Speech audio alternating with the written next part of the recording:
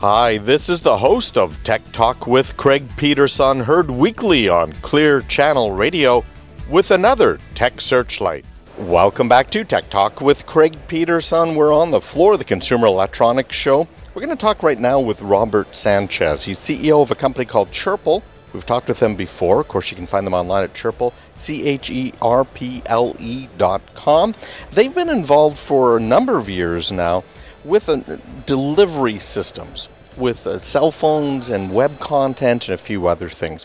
We're going to talk right now about a patent here, which is called a system and method for delivering web content to a mobile device and how it's affecting them, how it's affecting the industry. There's a couple of other patents as well that we may get into. And uh, Robert Sanchez, welcome to Tech Talk with Craig Peterson. Thanks, Craig. Always a pleasure to be here. Yeah, that's right. You've been on before, and I always enjoy having you on. Now, you've been very successful in the past. You've done a number of different things in different companies, in fact, in different parts of the world. You've sold businesses. You're, you're the definition of a business guy, an entrepreneur that goes out and gets it. And we all think about the importance of the American dream and building the economy, and it starts with small businesses. And that's what you're doing. Now, you're taking a couple of blows right now in the whole patent arena, something I've had a soapbox issue on forever because I think there's issues. We just had some changes to the patent system in the U.S. Why don't you tell us what's going on? Yeah, in, terms of the patents, you're right, Craig. What recently did it is Congress tried to revamp it a little bit, but they just means hurried it up. The issue is the United States continues to lead innovation. That's really and what's it's, happening. It's got to. And, and uh, you and I know that. You know, I like to tell this story. I said, you know, I hate to say this, but everyone's afraid of the Chinese taking over the world. Well, when you think of the Chinese, you think of manufacturing. Right. You think of the masses. When you think of another country, say Japan, you think about technology. You think of a company like a country like Mexico, and you think, okay, service industry. Even if you use a Jewish nation, you say they're spendthrift, they're good businessmen.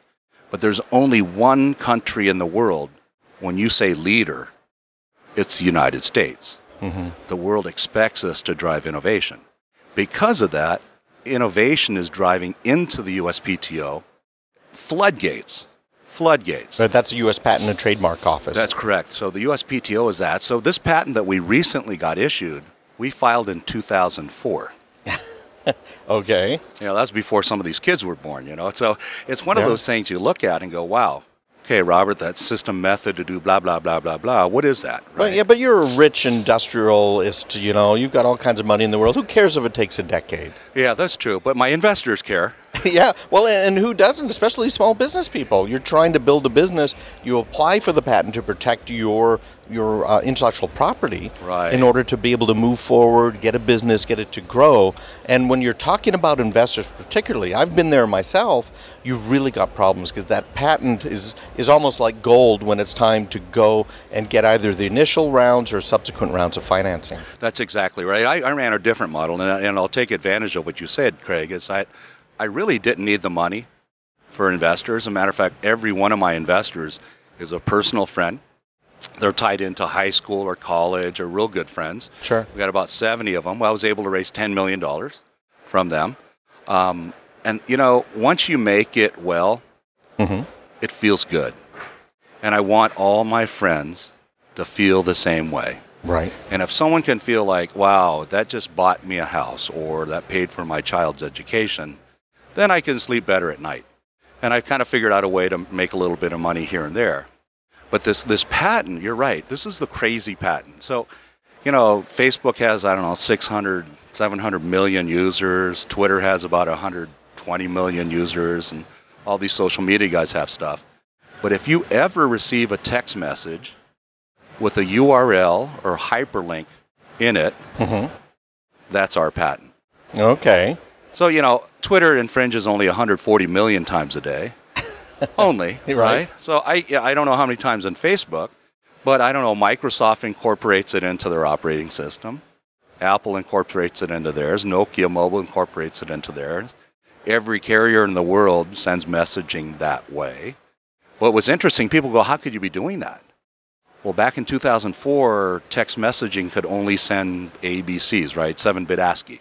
Right. And with the ability to interlink, uh, hyperlink it and create an applet, our patent is literally the ability to put an applet in a text message and deliver it into the carrier network. Matter of fact, it's not even limited to text messaging. It says any applet into the carrier network. Mm-hmm. So we'll make a few dollars, you know.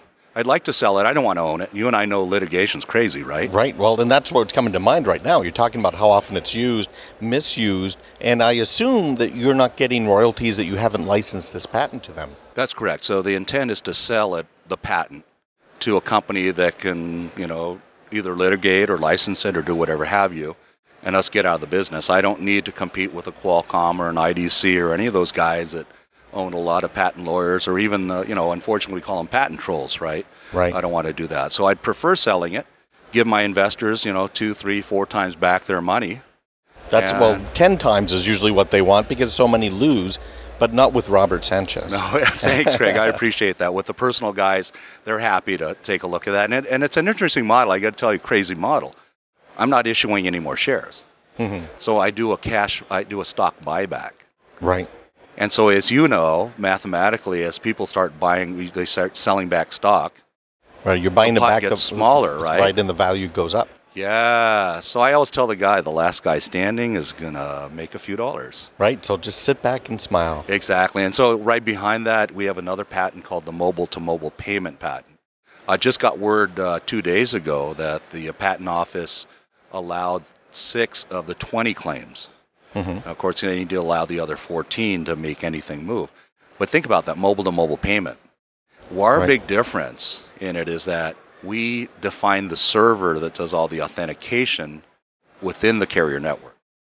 Most mobile to payment, mobile to mobile payment systems rely on an application mm-hmm. on the handset. We said no. You know, nine percent of the phones in the world are internet enabled. Right. That means ninety-one percent can't do internet.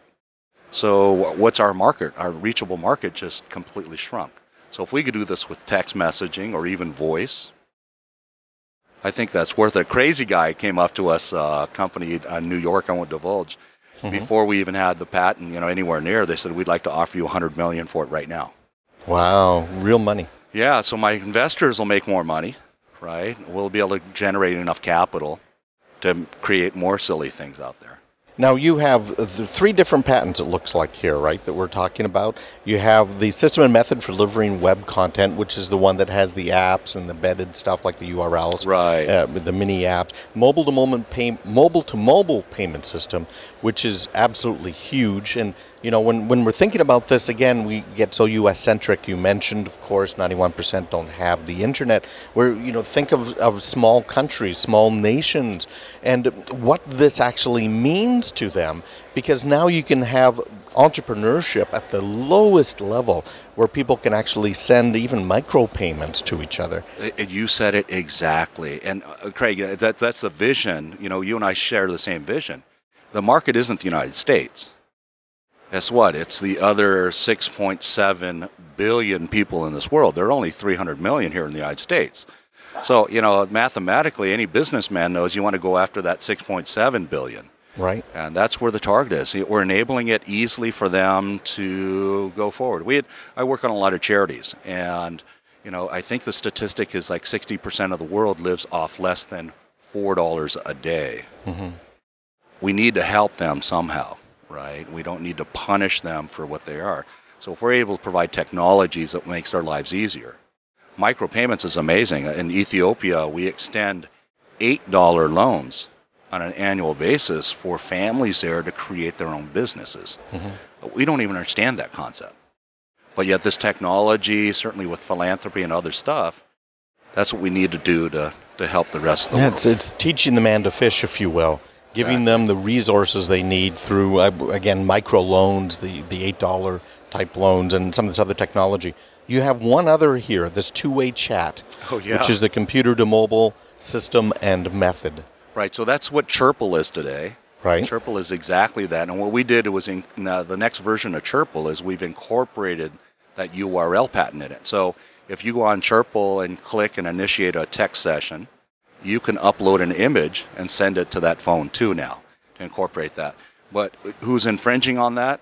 I don't know. Google Talk, company called Skype, a few other guys, like some small guys, you know, some of those social media people things, a few Mhm. of those guys. So that one's a long time coming. If, we, if you take a look at historically how long these patents take, we're going to hang in there for another five or six years. Wow. Having fun. and then know. get out. So now, you're, what are we looking at here now? Or, or you're, you're looking to license these patents? You're looking to sell these patents?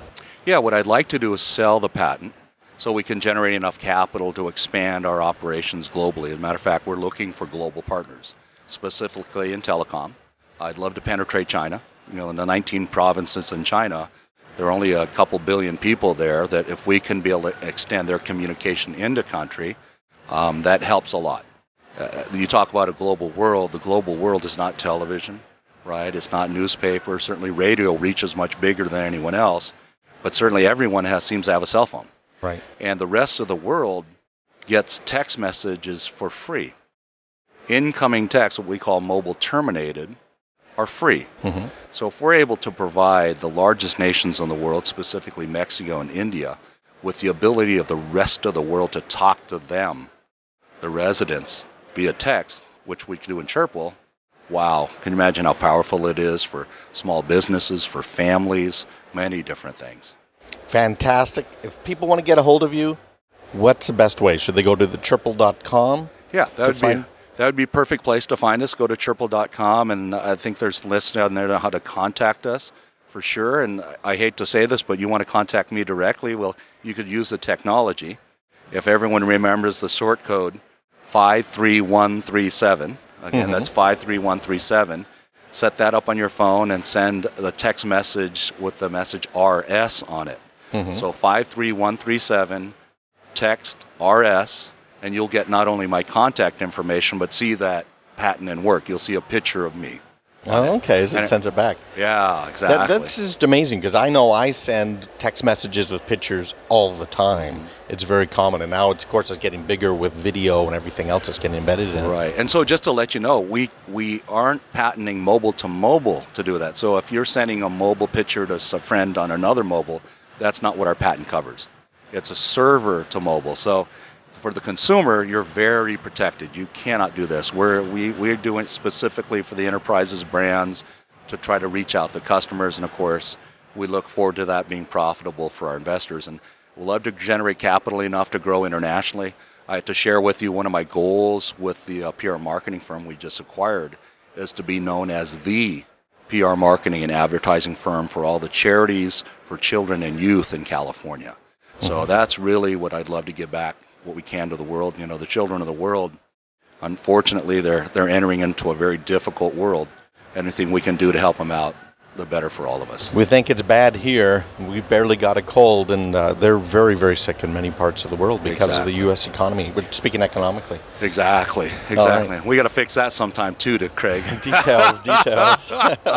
All right. Robert Sanchez, thanks for being with us, the CEO of Cherple, C H E R P L E dot com. We were talking about some patents which Cherple has here that uh, Robert is looking to license and move on. We talked a little bit about the patent system and how long this can take. And if you're an entrepreneur out there, this is all good information for you. If you're an investor who might be looking to maybe move forward a little bit on along some of these lines, Robert's the guy to talk to. You'll enjoy talking to him no matter when and why. Thanks again for being with us. Appreciate it, Craig. When we come back, of course, more about the technology right here on the floor at CES with Tech Talk with Craig Peterson. We'll be right back.